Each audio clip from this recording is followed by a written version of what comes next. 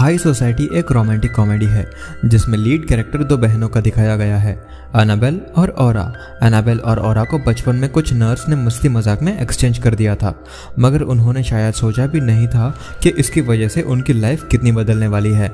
आगे जाकर हम ये देखते हैं कि एनाबेल एक बहुत रिच फैमिली की बेटी है। उसका एक भाई है एल्बर्ट उसके पिता कोमा में रहते हैं और उसकी मॉम एक हाई सोशलाइट वुमन है। दूसरी और औरा, जो एक शॉपिंग मॉल में कैश काउंटर पर काम करती है, जिसके परिवार का कोई भी मेंबर स्टेबल नहीं है। बड़ा भाई हमेशा नशे में रहता है और माँ आए दिन जेल पेनल्टी का चक्कर काटती रहती है। बस है तो एक छोटी सी बहन रोज़ा, जो कि बहुत स्वीट है। मूवी में दिखाया जाता है कि औरा को अमीर लाइफस्टाइल बहुत पसंद है, और वो आए दिन अमीर लड़कों को अपनी तरफ़ अट्रैक्ट करके उनके साथ घूमती फिरती है।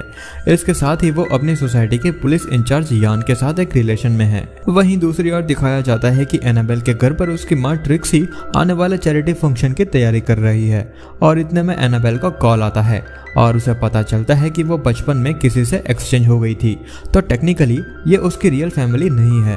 एनाबेल अपने फादर के बहुत क्लोज रहती है। वो अक्सर उनसे बातें करने उनके रूम में जाया करती है। हालाँकि उसके फादर कॉन्शियस नहीं रहते, मगर एनाबेल उनसे काफ़ी कनेक्टेड फील करती है।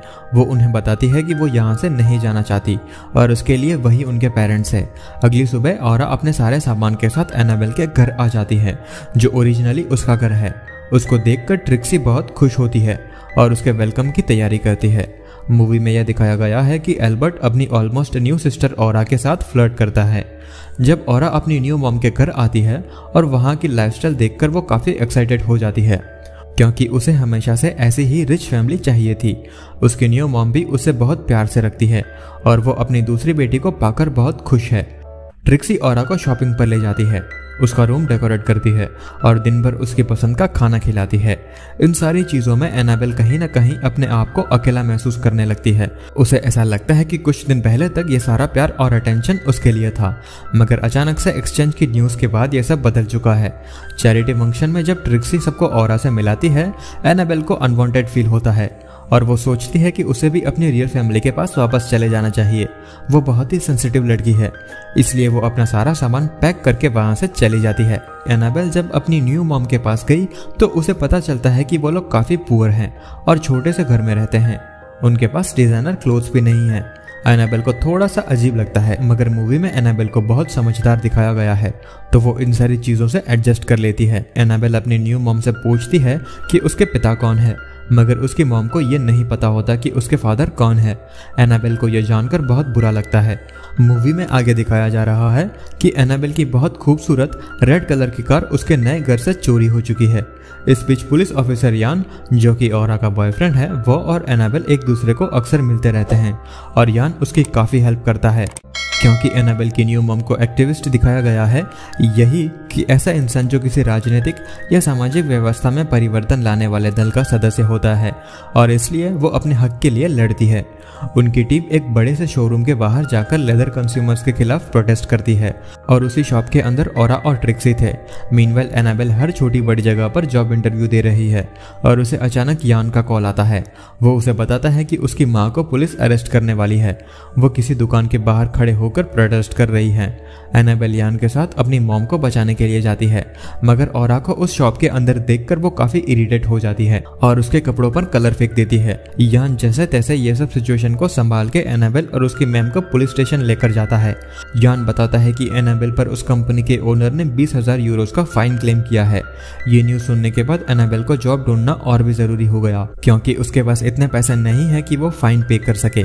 एनाबेल एक पार्टी में जाती है, जहाँ अपने पुराने फ्रेंड से हेल्प मांगने की कोशिश करती है, लेकिन अब वो रिच नहीं है।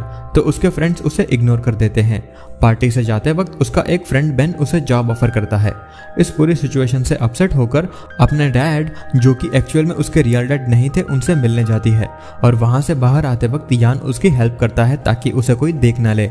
वो और को जेलस फील कराने के लिए एनाबेल के करीब आता है।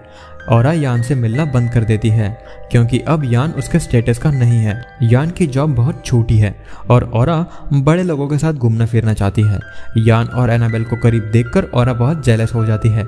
इसको देखकर यान और एनाबेल डील करते हैं।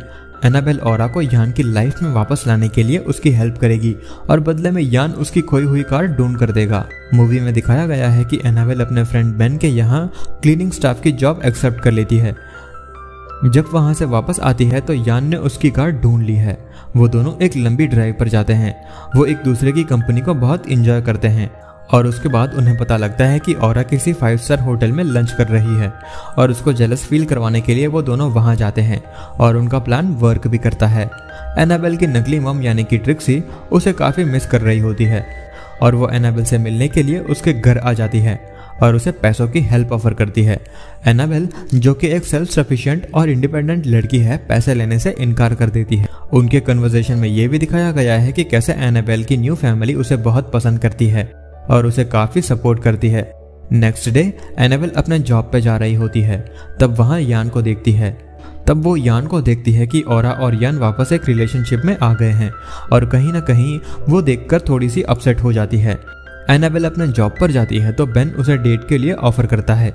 एनाबेल बहुत सुंदर सी ड्रेस पहन के उसके साथ डेट पर जाती है। बेन उसे समझाता है कि उसकी लाइफ में प्यार की कमी है, और वो अपने लिए एक ऐसी लड़की ढूंढ रहा है, जिसके साथ डेली इंटीमेट हो सके। इसके लिए वो एनाबेल को पैसे भी देगा।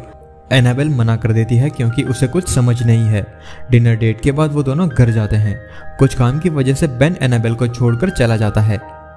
एनाबेल हैंडकम से लॉक हो जाती है और यान को हेल्प के लिए बुलाती है। आगे कुछ इस तरीके से दिखाया गया है कि एनाबेल की मॉम ट्रिक्सी उसे इन्फॉर्म करती है कि उसके डैड की तबीयत काफ़ी सीरियस है। एनाबेल की पूरी फैमिली आखिरी समय में उसके साथ रहती है। ट्रिक्सी का सेंस ऑफ़ ह्यूमर काफ़ी अच्छा दिखाया गया है और इतनी सारी टेंशन में भी वो अपने टेनिस कोच के साथ अफेयर के बारे में अपने हस्बैंड से कन्फेस कर लेती है। एनाबेल की पूरी फैमिली थैंक यू बोलती है। और इतने में उसका डैड की डेथ हो जाती है। क्योंकि एनाबेल ने बैन का ऑफ़र एक्सेप्ट कर लिया था, वो उसके साथ दूसरे शहर लॉस एंजल्स शिफ्ट होने के लिए रेडी हो जाती है। और जैसे ही प्लेन टेक ऑफ़ करता है यान उसे रोकने के लिए वहाँ जाता है, मगर वो थोड़ा लेट हो जाता है। एनाबेल ने प्लेन में अपने साथ और दो लड़कियों को देखा, और वो देखकर वो काफ़ी शॉक और कंफ्यूज हो जाती है। वो बेन से कहती है कि वो उसे वापस उसकी फैमिली के पास ड्रॉप कर दे। फिर एनाबेल सबसे पहले यान के पास जाती है। फिर वो दोनों एक दूसरे से अपनी फीलिंग्स शेयर करते हैं कि वो एक दूसरे को कितना लाइक करते हैं। And they lived happily ever after high socialite movie की आईएमडीबी रेटिंग 5.3 आउट ऑफ़ 10 है। तो अगर आपको वीडियो पसंद आया हो तो वीडियो को एक लाइक करके चैनल को सब्सक्राइब ज़रूर कर लेना, ताकि मेरे दोस्त ऐसी मज़ेदार और जानदार आवाज़ आपको आगे भी मिलती रहे।